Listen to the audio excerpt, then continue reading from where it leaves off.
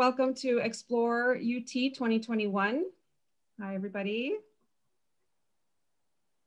Um, we are in the accepted med school admission presentation. Uh, we have with us the Director of Admissions at Dell Medical School, Joel Daboub. Um, and then we have our student panel, uh, three pre-med students, uh, Brianna Middleton, Juan Garcia, and Salvador Carrillo. Um, I am going to kick it off. We're going to start a presentation um, and then we will have questions throughout, throughout the presentation and questions at the end. I will kick it over to Mr. Daboub and the students. Thank you so much for joining us. Great, thank you very much. I appreciate it. I appreciate the opportunity to visit with uh, all the aspiring physicians out there and more importantly, thank you to the pre-med students who uh, volunteered to help me out today. And uh, we'll talk a lot about the process to getting to medical school, but they're gonna kind of help me uh, ask questions that were important to them when they were in your spot. So really, the, you know, the journey to, to medical school is a, is a lot of different um, barriers one might think of. They may think of um, obstacles and an unknown not really knowing how to get there. And so it could be disorienting.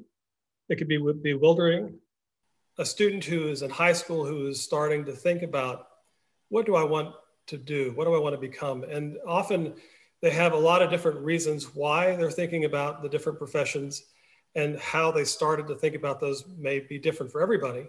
But to talk a little bit about for those who think medicine is the path that they want to go on, uh, how do they start taking that journey? And that journey really starts now. It starts while you're in high school. And so, talk a little bit about why, how, when, and who, and what as part of that journey about how you think about going to medical school and, and pursuing a, a, profession in, in uh, healthcare. So, as um, many of you, if you're in high school, you've already started thinking about medicine. You've already started thinking about um, a career as a physician. And about over 30, almost 30% of students who go to medical school uh, began to think about medicine when they were in high school, um, or before high school, actually, another 30% while they were in high school. So almost um, 60% of individuals who are in medical school today started thinking about medical school when they were uh, either before high school or in high school. So this is the right time to start thinking about that, but it's not the only time. Uh, some decide after the first years of college that the major that they were pursuing was not what they wanted to do.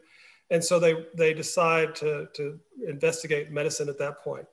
Some uh, in their, as late as their junior year, uh, some as, as late as their senior year decide to make this change.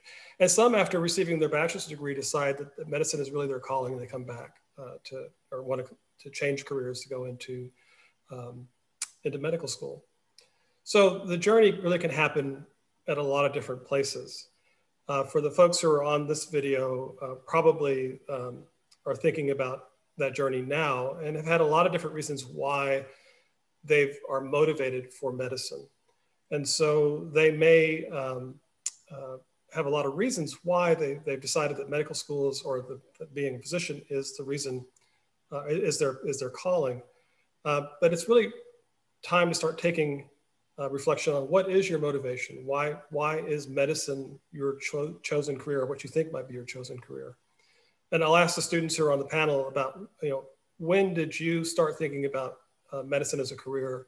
And when did you, um, or what was the motivation for you to choose that, that career?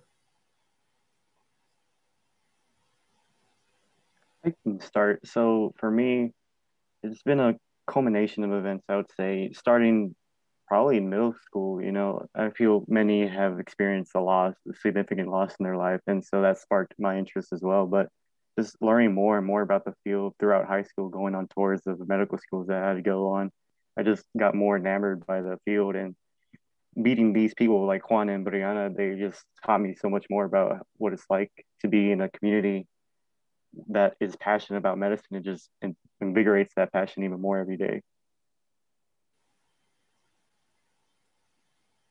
Um, I could also say that, at least for me, um, I guess the environment um, in which uh, one grows up in also has a major influence, and uh, at least for me, of, of why I wanted to do medicine. and kind of what keeps on motivating me today. Um, just this idea of uh, being able to give back um, to where uh, the community which saw you uh, grow up and uh, gave you so many, so much, so many opportunities to succeed is just something that um, that motivates me. Yes, for me, it was an accumulation of different experiences. It started when I was in seventh grade and I learned about all the human body systems, and I was fascinated by how our body works. And um, I also like the idea of helping people. Um, and when I was in high school, um, I experienced sudden hearing loss in my left ear.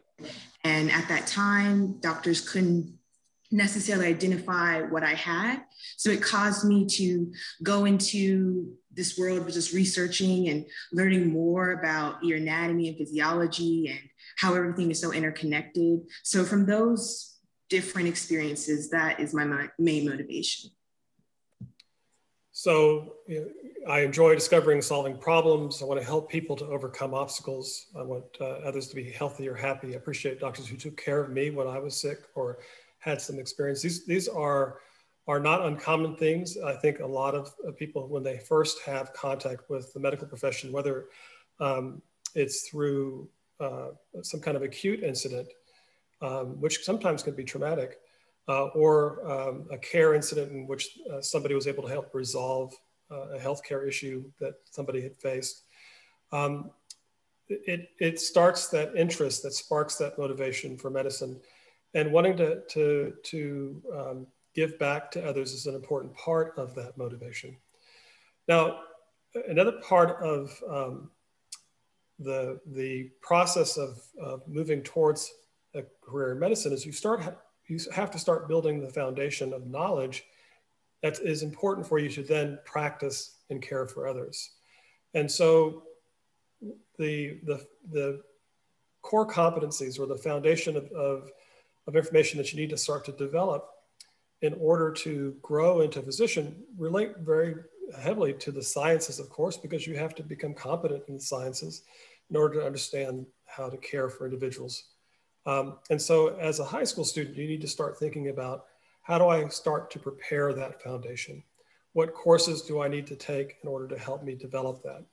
And if you think about a foundation, it really is you're building upon layers. You don't just take a course in science and then that science is forgotten and you move on to another course.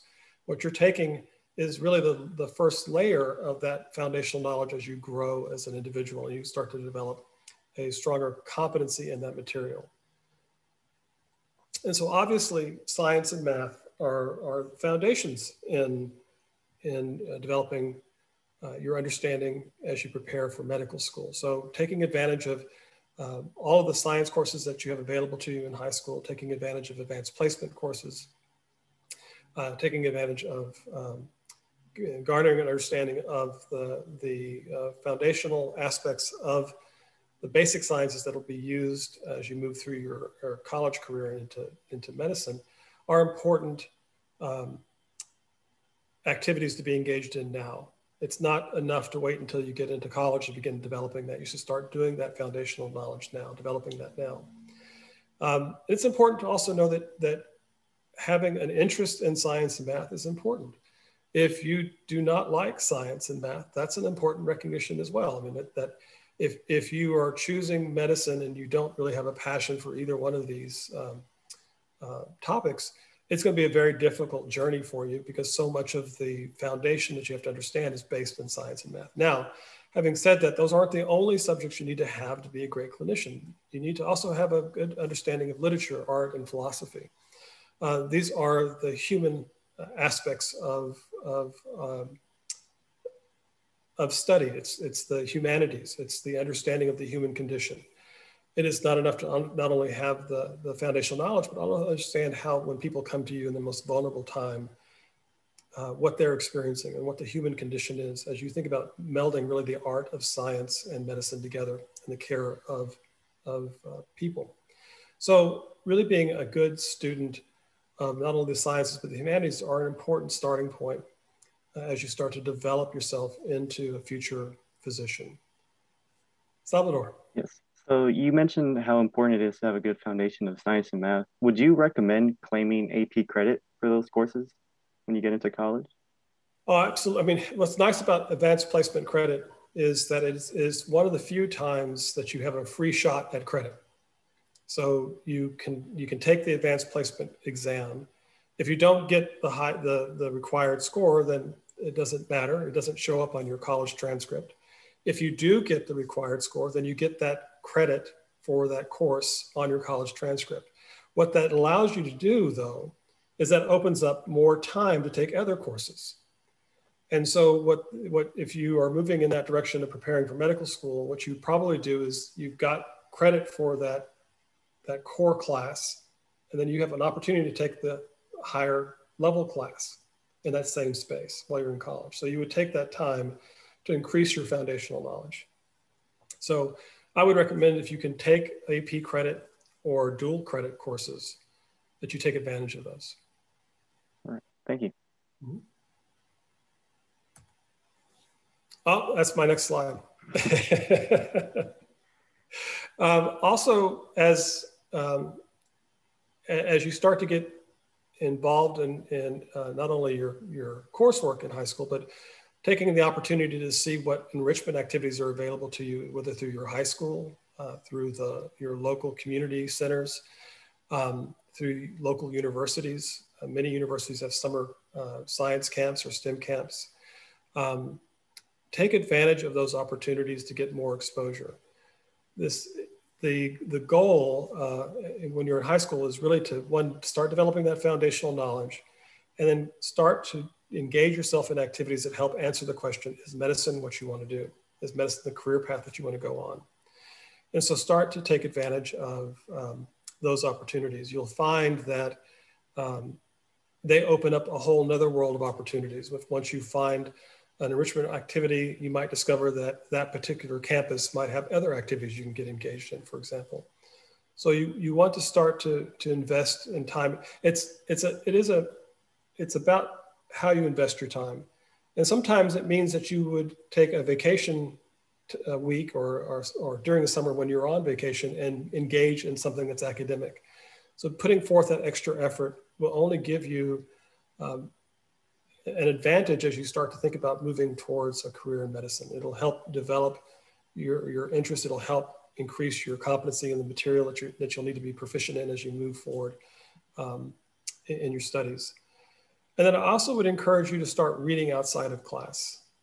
We uh, now, so much of what we read is, is very short content. It is, um, it's oftentimes um, uh, brief information. Sometimes it's an abstract of an article, but we don't really spend the time to read the whole article. We don't spend the time to read books that we're interested in. And so reading is a skill that has, that is, um, I'll use the word plasticity, meaning that it ebbs and flows. And the, the more we practice, the better we get at it. The less we practice, the, the, the more that skill wanes or dissipates. So reading outside of the class is really a, a relevant experience um, in preparation for any kind of um, learning as you move forward. Read things that you're passionate about or interested in, or things that are just fun for you to read, but practicing reading long passages is really kind of working out a muscle all of its own. I know no one right being complained that, that the brain is not a muscle. I understand that. But um, reading and the practice of reading, getting into that practice of reading really helps exercise that skill. And that becomes more and more relevant as you get more and more content, as you're being expected to understand more and more content as you progress academically, the better you can read and comprehend that, the more successful you're going to be in, in demonstrating your proficiency. So really taking the time to read outside the class for pleasure is really important. And it, I know it's it's hard when there's so many other distractions out there to be involved in, whether it's uh, watching sports or playing uh, games on um, video games or whatever it may be that you can can do.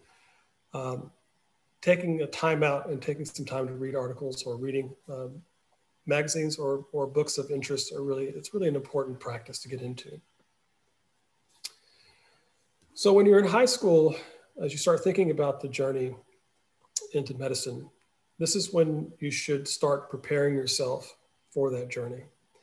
High school, uh, colleges will start looking at your high school transcript starting from the 10th grade. And so they're looking to see how you've been progressing in high school, looking at your performance and looking at your high school rank. That will let them know how, um, how studious you were, how much you committed to your studies. And that gives them a good idea of how you're going to perform once you're in college. So you need to start working on um, taking those advanced courses and begin performing uh, and, and putting in the energy to perform well in your classes as early as your 10th grade. Another thing that, that colleges look at, and it's not, it's really kind of surprise to, to some students is, is they look at absences. If, if you're absent uh, quite often, you're probably not going to be ranked very high because you were, you were missing from most of the content in the class. And so if you weren't committed to going to class in high school, how can they be assured to be committed to going to class when you're in college? So be studious, be, be present, start getting engaged in, in 10th grade if you haven't already, and start working towards developing good study habits and performing well academically. When you become a junior, you can begin to look at colleges that you would like to apply to. So you can start visiting campuses um, across the state or across the country, depending on where your interest lies and, and your, your resources to get there. Um, um, now that we're doing everything virtually, it's much easier now to take a tour of a campus virtually. And you start to think about where would I like to study? And so I take a moment and ask the students who are on the panel, how did you decide that University of Texas is where you wanted to go to school?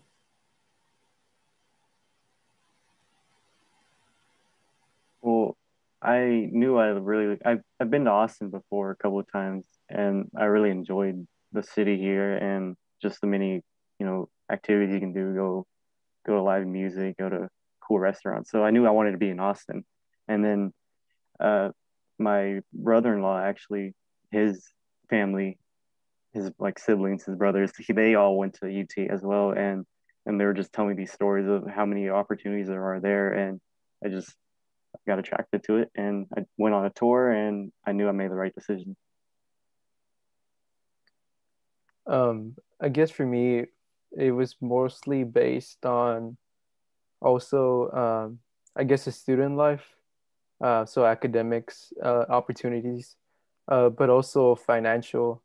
Um, so I knew that, uh, like you said earlier, I couldn't, you know, go out of state because I didn't have the resources, but uh, but UT did offer me the the best financial aid package.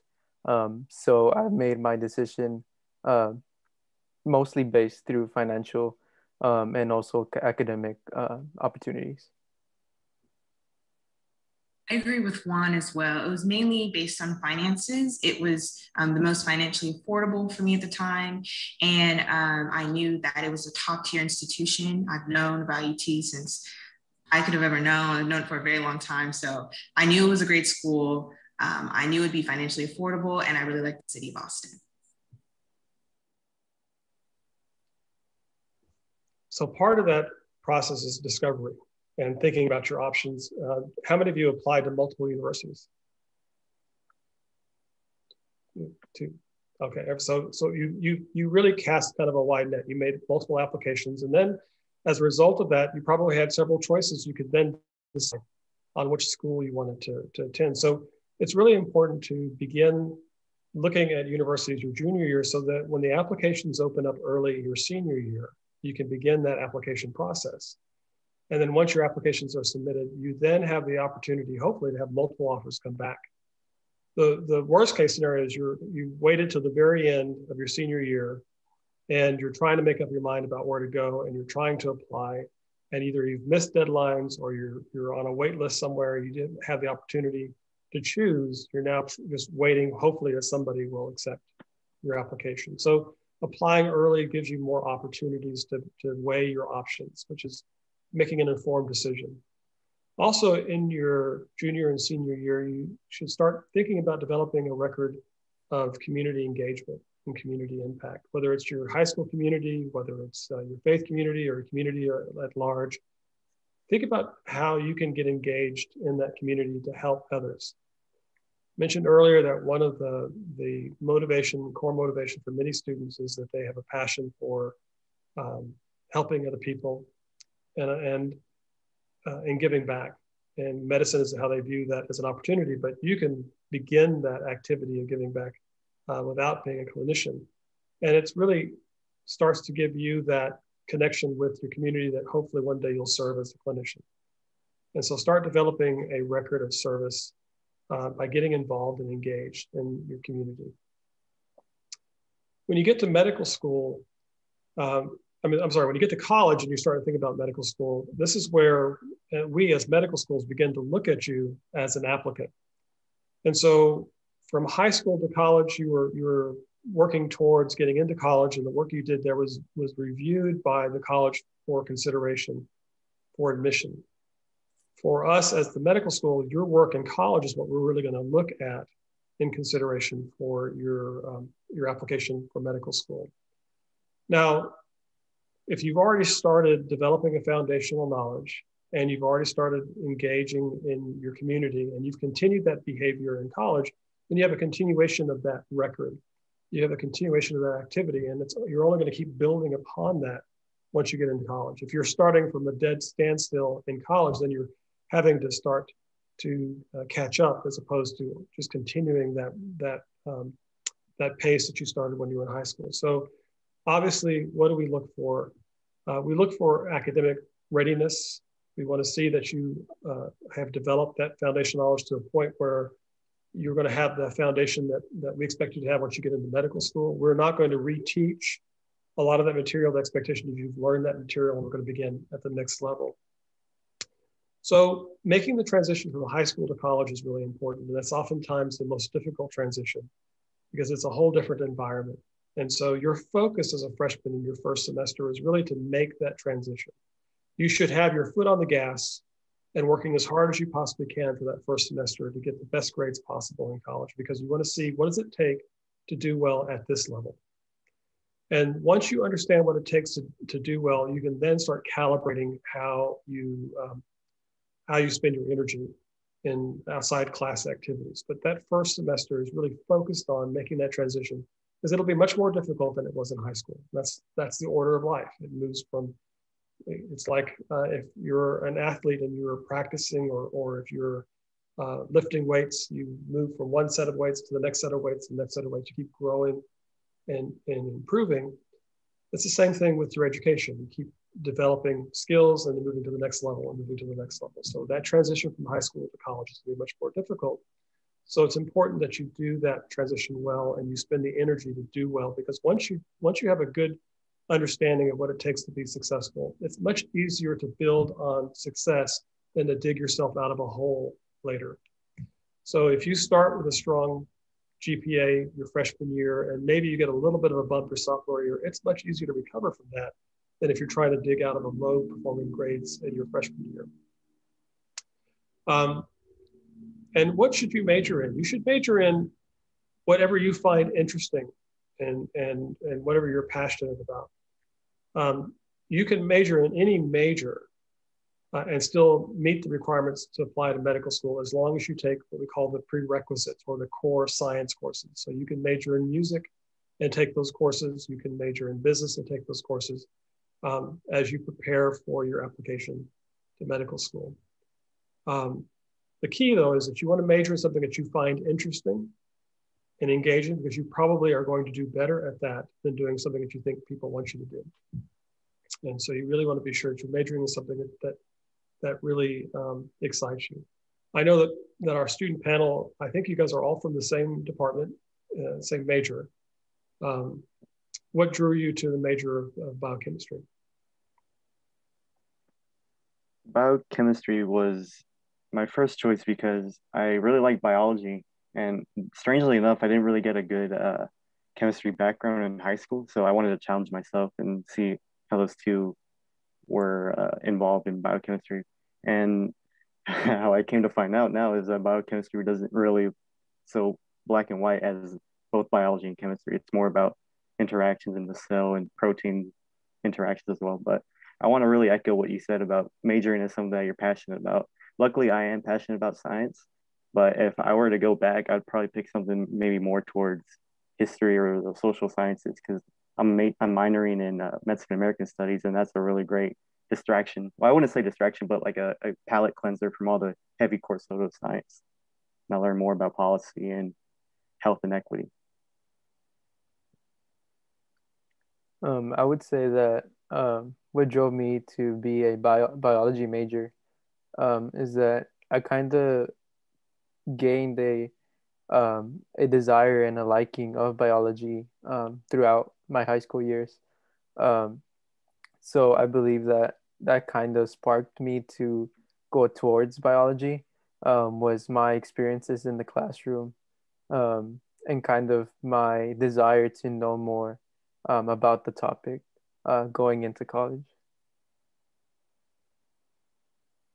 And just to um, echo what um, Salvador said, I am a biochemistry major, and it started um, freshman year when I realized that I equally liked biology and chemistry. Because at first I thought I only liked biology, but after my freshman year, I realized I liked both equally. And learning how biology and chemistry interact was really interesting to me. Um, but the great thing about pursuing um, medicine or being a pre med student is that you don't only have to pursue science related courses or activities. Um, for example, my certificate, which is essentially a minor, um, is social inequality, health, and policy. So, learning about how certain social structures inform health and policy um, is also another interest of mine. And I think it's it's important. Sometimes we get on the idea that you only have one pathway to medical school, and sometimes we use the term pre med uh, as a major. And in truth, there really is no major as pre med. There's a pathway called pre medicine, but it means that you're majoring in uh, a topic like biochemistry or history or business, and you are pursuing courses that help prepare you for the application to medical school.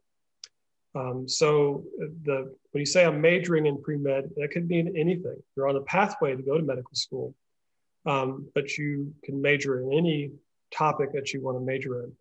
Uh, and that's really important. Uh, and reason why it's really important that you get good advising as a freshman in college. Each of you, when you start uh, at each at any university, will have an opportunity to go through freshman orientation, and will have uh, at every institution in Texas, I can speak uh, uh, to the absolute, they all have advisors for the health professions. And so the, the thing you want to do is you want to make that connection early on. You want to be sure to connect with the health professions advisor to be sure that you're on the right path for getting the prerequisite courses and that you can learn more about what support services are available to you as a pre-health student as well. So getting advising is, and getting good advising and engaging your advisor early is really important. So at the, the, the rule of thumb is at orientation, identify who your health professions advisors are. And then that first week or first month of school, you make an appointment to go visit them. And then eventually you'll start spending a lot more time in their office as you start to grow as, as an applicant. You want to continue your tradition of involvement and engagement that you started when you were in high school. You want to begin to get engaged on your campus.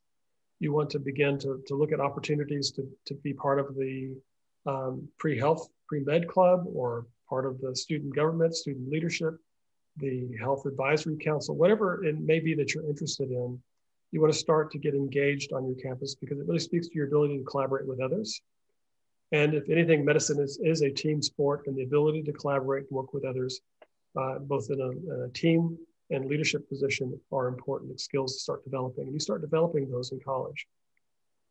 So you want to start, start to get engaged uh, probably in your second semester or first semester of sophomore year, second semester freshman, uh, first semester sophomore year, start getting engaged in activities on your campus.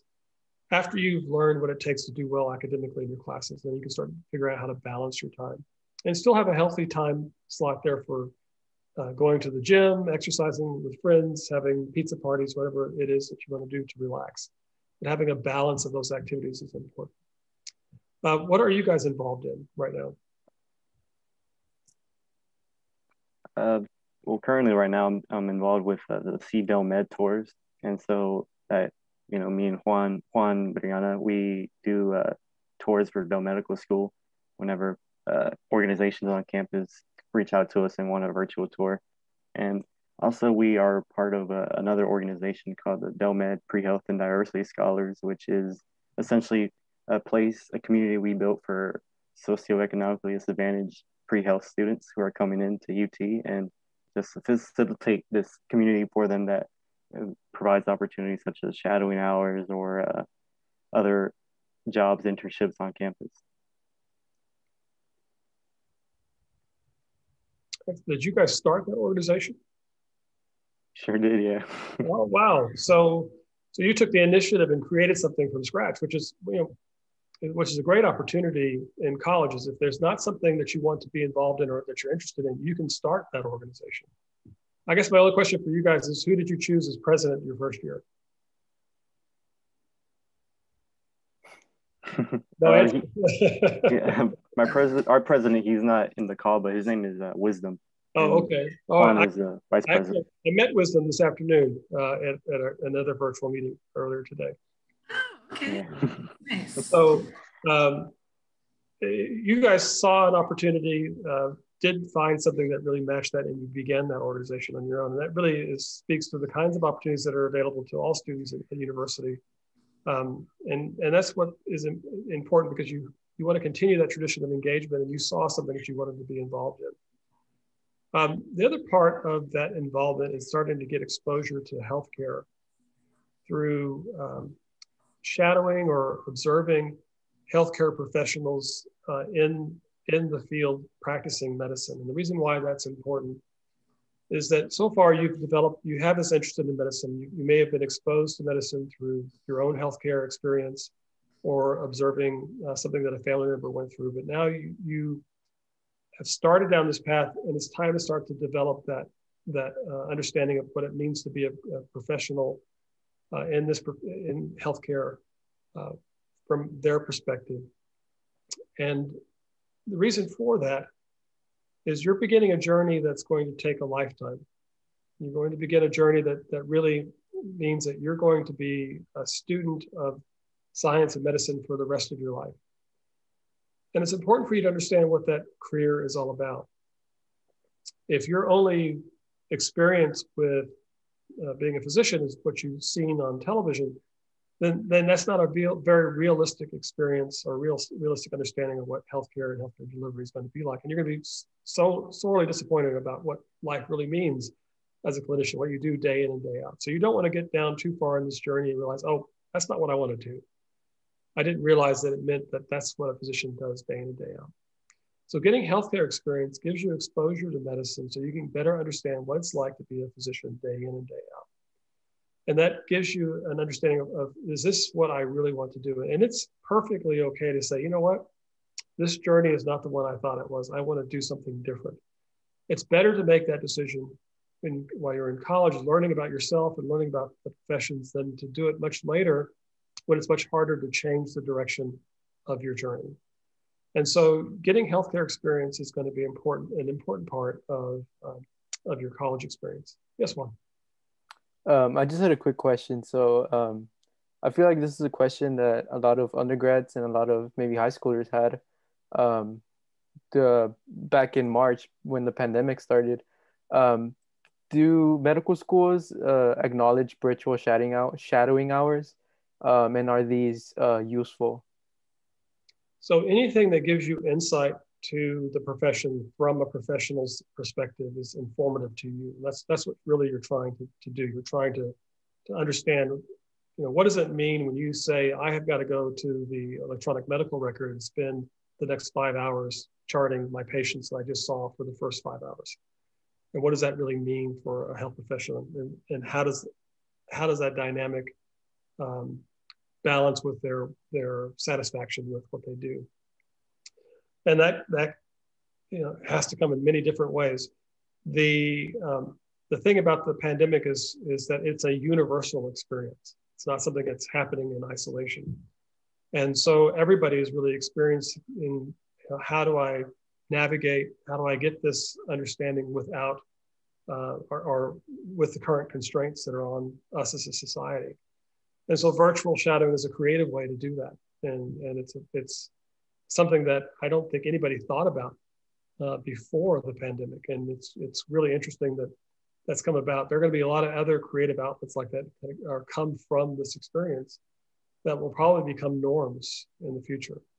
Um, but the goal is to get as much exposure to healthcare as possible, um, not for our benefit, but for your benefit, so that you understand what it's what it means day in and day out to be a, a healthcare provider.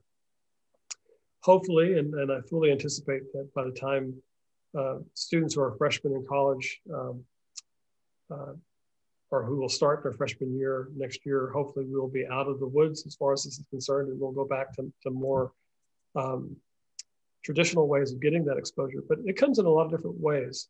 I've had students who have volunteered for hospice um, organizations where they they simply went in and were um, kind of, they just had conversations with patients who were in hospice to give the, the, their caretaker a break and they got more insight on compassionate care through that experience than probably any other way. Um, I've, I've, worked with individuals who have worked in um, uh, cancer units teaching kids, um, you know, doing art projects with kids who are in cancer units. And, and that's not direct healthcare experience, but they're working with patients are going through um, treatment. And so it gave them a perspective about healthcare that, that is unique. So there are a lot of creative ways to get that exposure and to get a better understanding. But what you want to be able to do is when somebody asks you, why medicine?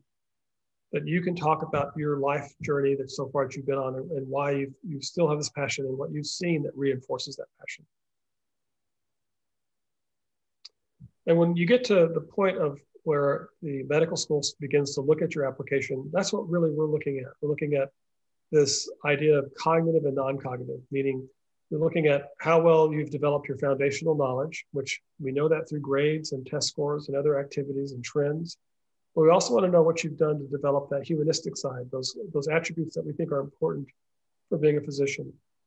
Your understanding of medicine, your ability to give back to your community or, or, or past behavior that indicates you give back to your community, your desire to uh, help change systems of care uh, there are a lot of things that fall under this this idea of, of non-cognitive, but it's a balance. We're looking for people who have really a strength in both areas. They're strong academically, and they're also um, demonstrated through their their past behavior activities that align with what we're trying to do. They've done things that speak to uh, being a great clinician, and that's why medicine is an art. Uh, it's a science, but it's also an art. It's also important to not forget the humanistic connection, um, how you're caring for patients in their, in, who are the most vulnerable uh, point in their life when you're caring for them. And so we look for these activities you've been engaged in to see how uh, you have explored these other aspects of, uh, of yourself, whether it's in leadership, it's in discovery, innovation, teamwork, or community impact, those things that you've done in those areas. And it's really that balance. So motivation for medicine, why? Your service to others, your community, leadership, innovation, creative, community engagement, resilience, determination. Well, I tell you that, that this year, resilience and determination are probably going to be the theme words for, for all applicants as you guys struggle through uh, an unprecedented time in our history. And uh, your ability to, to work and collaborate with others, which is really important because it is a team sport. Um, it's important to, to practice behavior that that moves you towards um, being successful at whatever you want to, to, pursue. And it, it means that you have to be engaged. Uh, you need to practice what we call habits of mind. Uh, and that's being persistent. You're persisting every time. And, and again, we're in this situation where you, you an unprecedented uh, shutdown of our, of our society. And, and how do you persist through that? uh, and managing impulsivity, the idea that, you know, I can go out and, and, and have a great time, or I can stay and finish this work I need to finish so that I can move to the next step in, in my, um, my education. So understanding how to balance that. Listening to others with understanding and empathy, and that's important. It's not sympathy, but empathy. Uh, how do you listen to others who have a different opinion than you have? And how do you give them the space to express that and listen to that? being flexible, um, thinking about thinking, which is an interesting uh, concept, the idea about how do I process information? How can I be better at processing information? striving at accuracy and precision, trying to do the best you can every single time, as opposed to just saying, that's good enough. Um, posing problems and asking why. And if you hear somebody say, because we've always done it that way, that might be a clue to say, mm, let's think about that again. Um, so you can read these here about uh, the things you can do to be actively pursuing um, improvement and these habits of mind that, that keep you actively engaged. Um, the one I would like to, to end with, and the one I think is important to always practice, and that is to respond with wonderment and awe at all times. To look at a situation and, and, and think about um, how momentous or how uh, interesting it is, or to be in awe of just people's ability to transform and to adapt. It's, on, it's been on display in, in such a way this last year. Our whole society is learning how to adapt, adapt to, to a pandemic. And it's amazing how quickly or how successfully we've been able to do that and leverage technologies that we never thought were even useful before into something that we use continuously. So I just always step back and think about how um, how how uh, interesting the world is. And so always look at the world with that, uh, that lens of wonderment, uh, because I think that will help you be inspired. So I'll take, if we can, if you guys have any questions for me.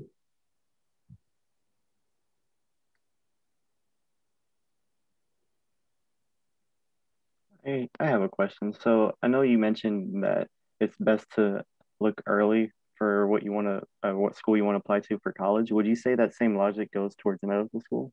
Trying to research early what medical schools you want to apply to?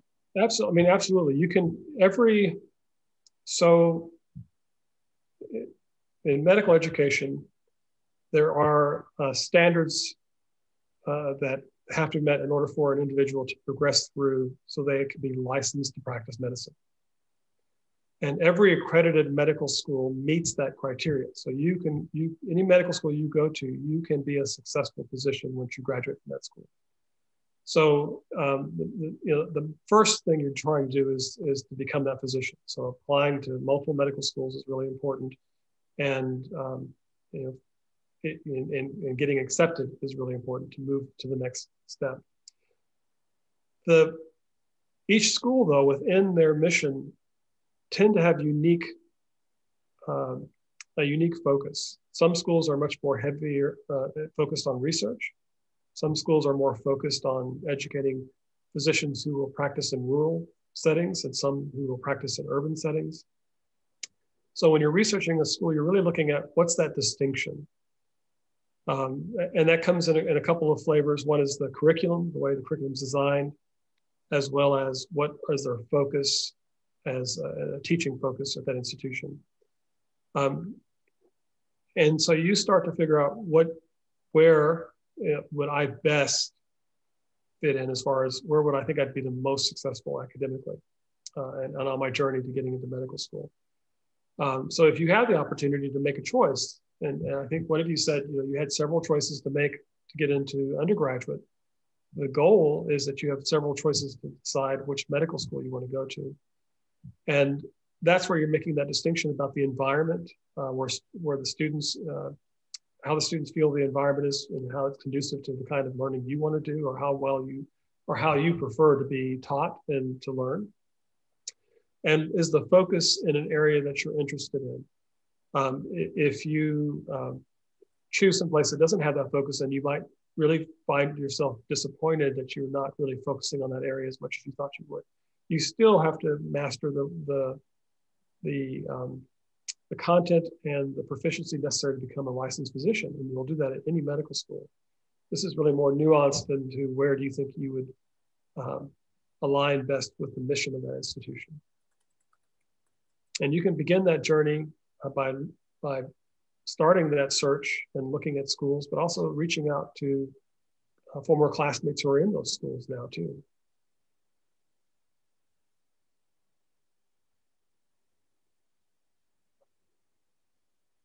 But ultimately, um, one of the great things about, about Texas is that we have uh, outstanding medical schools. We have uh, 11 public medical schools in Texas now, and um, each one of those schools can train you to be an outstanding physician.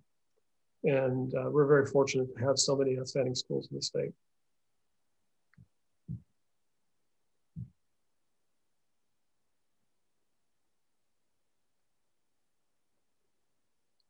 Um, I have a quick question. Um, so I I feel like this question is something that is asked a lot um, with uh, incoming freshmen. Um, but how important is research experience um, to the medical school application? Um, it is. Uh, it depends on the institution. If the institution is much more focused on research, then they may weigh that a little more heavily. Um, for us, we're, we are um, we're, we're more interested in discovery and um, uh, creativity. And that can come in the form of research, but it can come in other ways as well. And so uh, I think what's really relevant is, is are you interested in research? If you are interested in research, then find an opportunity where you can really get exposed to research and you can contribute to the body of work in that lab. If you're just doing it out of a matter of, ex- of a practice to go do, and you spend your whole day just doing the same thing over and over again, and you don't really care about what's going on in the lab, then you're going to find it very um, uh, disheartening to go do that day in and day out. So if it's something that you're interested in you have an interest in pursuing, then find some place and find a, a professor who's doing work in the areas that you have an interest in and try to get into that lab. And then try to, to engage in, in research activity, first learn how to how the lab works and what they're they're working on. You, can't just go in and start doing research right away, uh, but try to get involved in the um, uh, in, in the research community in that lab to begin doing independent research if you can.